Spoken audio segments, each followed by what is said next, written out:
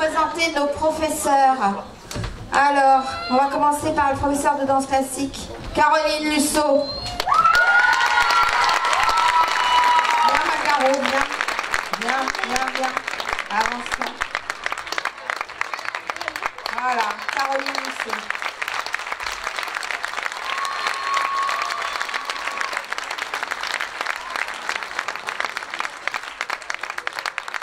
Nous allons continuer par notre professeur de hip-hop, Quentin Guillou.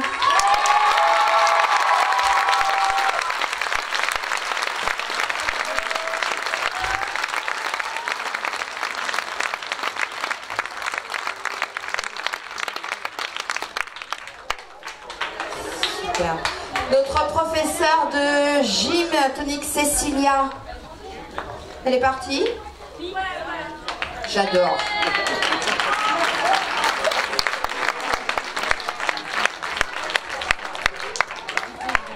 Oui, oui. Et puis nous, on voudrait vous présenter donc Véronique Bouvard. Donc elle est comme elle est,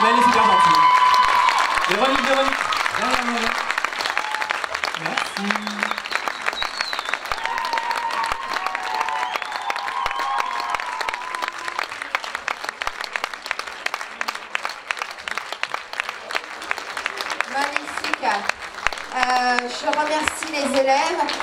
euh, et j'ai oublié aussi tout à l'heure de remercier les parents qui avaient participé à mon cadeau suite à mon accident de voiture qui m'avait privé de mon ustensile de travail. Non, non, c'est pas ma voix.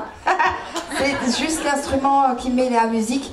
Donc tous ceux qui ont participé à ce superbe cadeau qui m'ont permis m'a permis de continuer mes cours jusqu'à fin juin. Merci. Un grand merci à tout le monde, à vous tous. Merci, merci. merci, merci.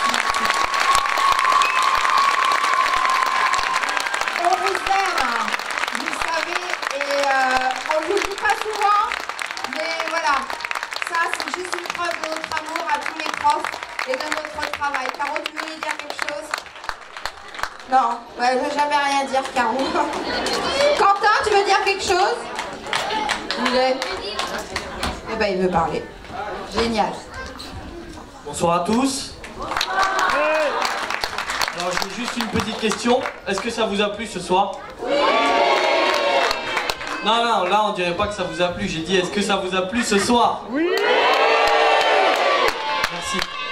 Ce qu'il faut savoir c'est que en un an c'est pas facile. La danse hip-hop notamment c'est pas facile. Il y a plein de techniques à apprendre et ça vient pas du jour au lendemain. Mais vu qu'on avait des élèves vraiment motivés, on arrive à faire du bon boulot et j'espère que ça vous a plu. Et je vous dis euh, à l'année prochaine, j'espère.